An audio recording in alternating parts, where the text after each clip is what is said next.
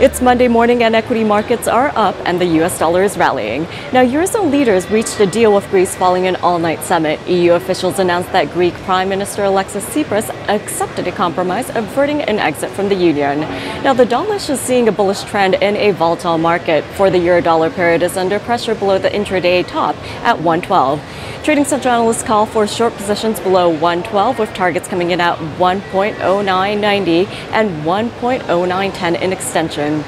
The British pound against the US currency is in focus on this Monday morning. The pair stands above the support level at 1 and 54.75 and remains on the upside. For the dollar against the Japanese currency, the pair does remain on the upside and is approaching its previous top at 123.70. Regarding the British pound against the Japanese yen, this pair is also in focus on Monday. It is accelerating to the upside and posting new highs.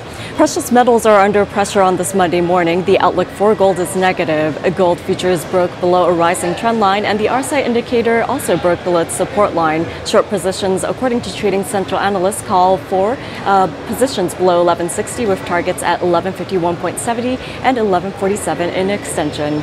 Silver does take the spotlight on this Monday morning. Prices broke below a rising trend line, which does confirm a bearish outlook. The RSI indicator is below its neutrality area at 50% and does lack upward momentum.